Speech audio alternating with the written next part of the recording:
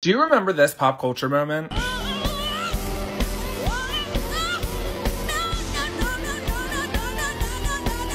On October 23, 2006, Fergie released her next single, Fergalicious, which would become a staple in 2000s pop. She would go on to release her next two singles, Glamorous and Big Girls Don't Cry, which would both go number one on the Hot 100 charts, launching the album's sales significantly. In April of 2008, Fergie announced that she would release a deluxe version of the album featuring four new songs, including a cover of Barracuda by Heart. To promote the album, Fergie joined the Today Show summer concert series on May 20th, 2008. She performed a few of her singles from the album, including Clumsy and Big Girls Don't Cry.